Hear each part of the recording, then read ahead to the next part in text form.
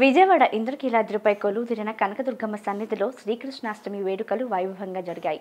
ఈ సందర్భంగా ఆలయ అర్చకులు శంకర శాండిల్య మాట్లాడుతూ రోహిణి నక్షత్రం కూడిన శ్రీకృష్ణాష్టమి రోజు స్వామిని పూజిస్తే సకల శుభాలు కలుగుతాయన్నారు. ఈ సందర్భంగా ఆలయ అర్చకులు స్వామి ఉత్సవమూర్తికి అభిషేకాలు నిర్వహించారు.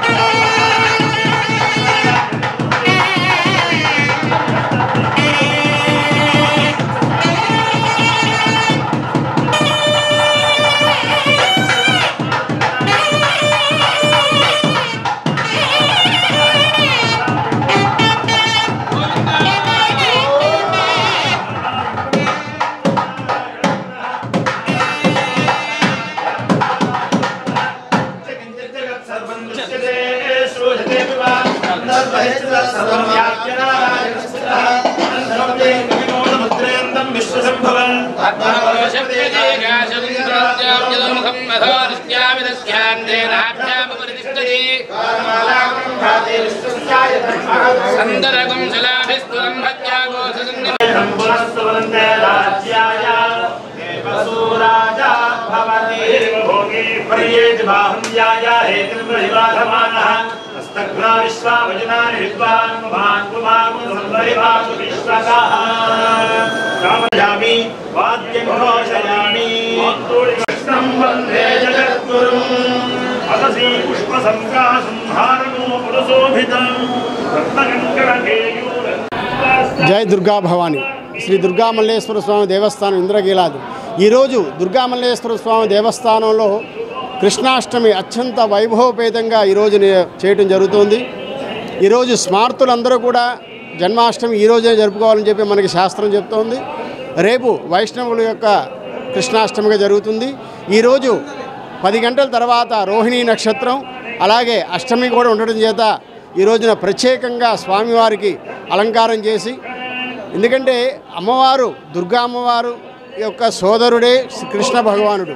అటువంటి కృష్ణ భగవానుడికి ఇక్కడ చేయటం అనేది కొంతకాలం చాలా కాలం నుంచి కూడా ఇక్కడ ఆనవాయితీగా వస్తుంది. ఎందుకంటే అమ్మవారికి చాలా ప్రీతికరమైనటువంటి సోదరుడు కృష్ణ భగవానుడు. అటువంటి కృష్ణ భగవానుడికి ఈ రోజున జన్మాష్టమి సందర్భంగా భక్తులందరికీ కూడా కృష్ణాష్టమి సందర్భంగా స్వామివారికి పూజ చేసి వారందరికీ కూడా ఆశీస్సులు అందజేస్తున్నాం. అందరికీ కూడా జన్మాష్టమి సందర్భంగా ఎంతో విశేషంగా ఉండేటువంటి ఈ రోజున ప్రతి ఒక్కరు కూడా జగద్గురు. ఎందుకంటే ఈ ప్రపంచానికి జగద్గురు ఎవరంటే కృష్ణ భగవానుడే. అటువంటి వందే గురుం జగద్గురుం. అంటే కృష్ణం వందే జగద్గురుం అని ప్రతి ఒక్కరు కూడా ఆ నామంతో ఇవాళ క్లీం కృష్ణాయ గోవిందాయ గోపీ జనవల్లభాయ నమ స్వాహ అనేటువంటి మహామంత్రం మూలమంత్రంతో కృష్ణుడిని ఈరోజు పూజి పూజిస్తారు అందరూ కూడా. అందరికీ కూడా కృష్ణాష్టమి సందర్భంగా అమ్మవారి శుభాశిస్సులు.